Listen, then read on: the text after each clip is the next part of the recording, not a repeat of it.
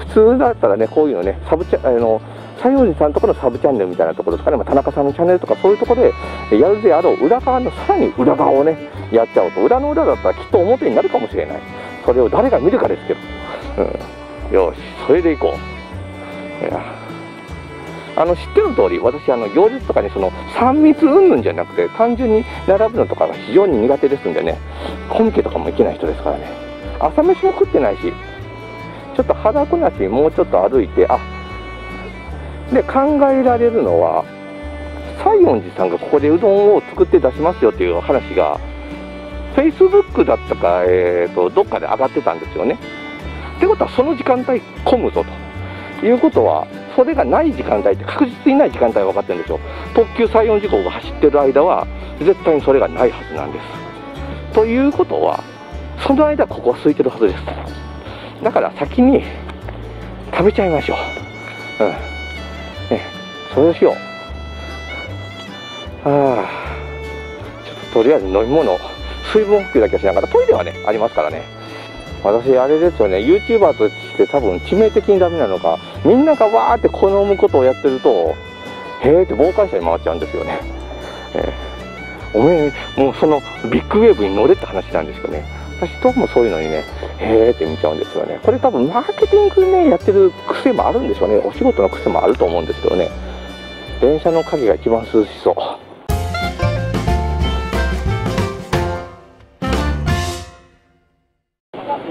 さあ、10時になりました。で、こっちの方も、もう今から見学ができるようになるみたいです。で、皆さんやっぱ物販の方に並ばれてるんで、こっちの方は、結構今の時間空いてますね。へえ。やっぱ家族連れの方はね、こういう体験とかパッと、えー、お子さんとかね、されたいよって方が多いでしょうから。あ、なるほど、なるほど。エリアは指定させていただいておりますので、それ以外は行かないようにお願いします。はい、あ、そうですね。あ、でも大きいですね。最近見たのがあすなろう鉄道なんでね。へえー。えー、あこっちから。7000系の写真が撮れるらしいです。先にちょっとそっちからも行ってみましょうか。ね一本ちょっとずらすとこんなこういうのとかも気になっちゃいますよ何の機械だったんだ。何だなんかの機械ですよね。モノタロはあのやつはあれですね。純活材ですからあれですけど、うん、何の機械になってたろう。台車関連かな？へえ全然あれですよね。鉄道に関係ない機械の可能性もありますけどね。えこれが7000系か？へえなんかブレーキポットの感じが。へえこんな感じなんだ。あわあえー、あこんな感じなんですね。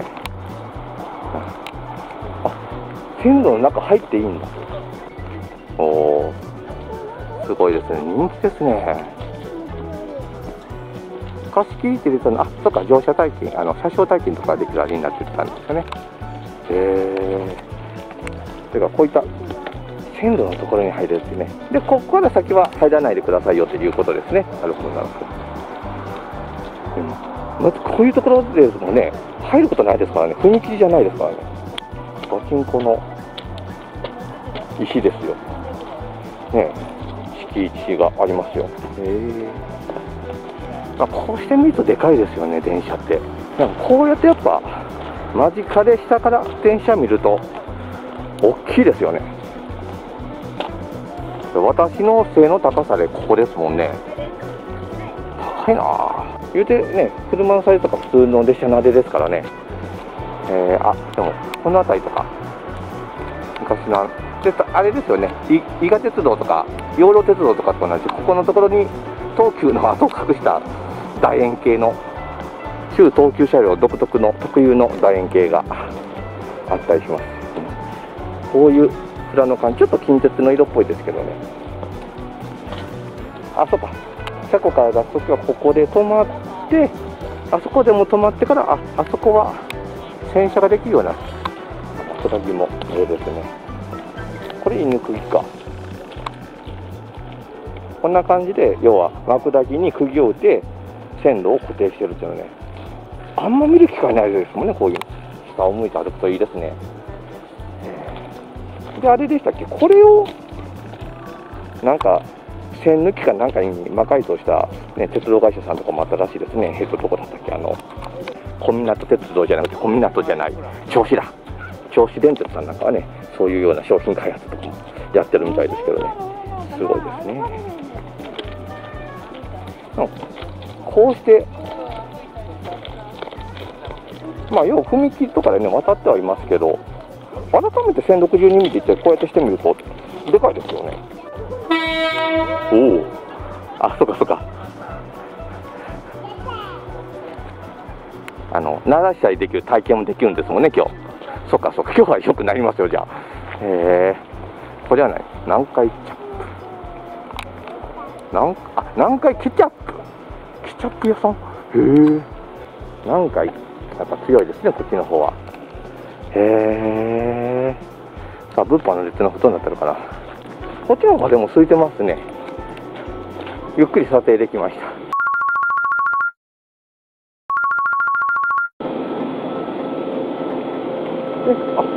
この中で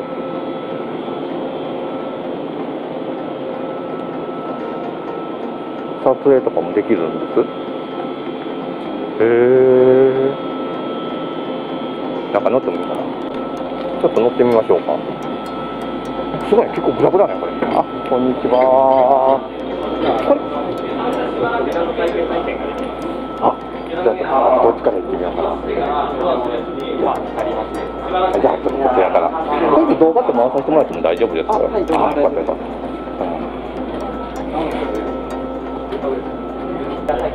作るの最工業ってなってますね。へえ向こう行こう向えー、あいいですか、はい、えー、中入ることないですからね。こんな感じになる。でこれで喋るんですね。はい横のボタンを押してる選手でもらってはいはい。はいあああよかったです。あの四日市から来てますもんで。そうそうそうそう。いやすごいね。えこれあ飛び出って結構パンと開かないんだ。え？これをペダルを引きながら乗ってもらってなるほど。それやってんの？あえ結構駅員さんとかポンってやった時は結構コツいるんですねでここから見てダー閉めますとかってやるんですねへえすごいな。あで協賛さんなんだ。へえ踏切とか作ってるあれですもんね。へえすごいな。えー、結構楽しい。ありがとうございます。うわ。これ特急でしたかこれ特急水間かな？まだ早いか。1分前か人気列車はですね、西門さんの西門鉄道ヘッドマップあそうかそうか。じゃあこれは一般の方ですね。うん。ただこれね下手なことできないんですよね。あのー、お旧東急系元あでこんな感じ？あさっき見てきた同士だね。そうなんであんなちっちゃいのが置いてあるんかと思ったら言われのやつがもともとちっちゃいんですね。へえ一寸八分ってなってましたもんね。へえ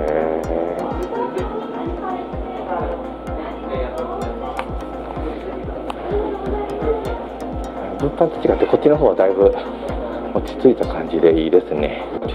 でそうさっき結構電車も中乗って撮ってたんでね撮れてないですけど109渋谷部なんかもう味がありますもんね。すごい。ショッピング夜9時まで。ある意味終われるお食事が夜10時半までできるっていうのが今のコロナ禍だとうわー懐かしいって気になっちゃいますよね。おおすごいな何よりねここ涼しい。おおどこの扉が開いてる？あそこの扉が開いてるんだ。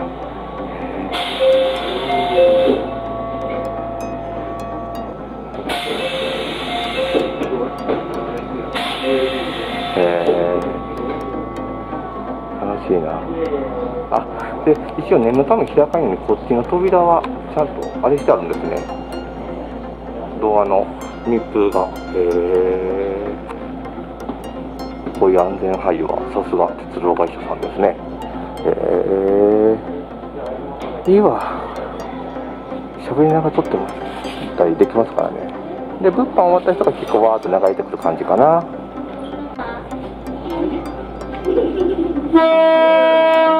おお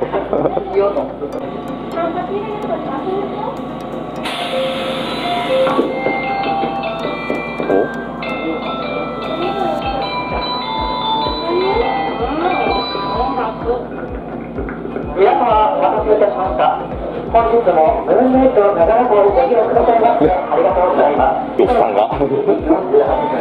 ちょっと楽しいんだこれ。であ赤で開いて黒で閉じるんですね。まあ覗きながら開いて、ね、ちゃんと親指隠してね確認して扉閉まりますってやってちゃんとね確認しながら。でもあそうか。この間に何かあった時のためにいここ持っとかなあかんのか。ああ意外と難しいな。えー、ありがとうございます。あーすいませんね。ごめんね。うちのチャンネルね何が怖いってね100人しかいないね YouTube チャンネルの癖してねなんと鉄道関係者の方がいることが判明してますけど。ね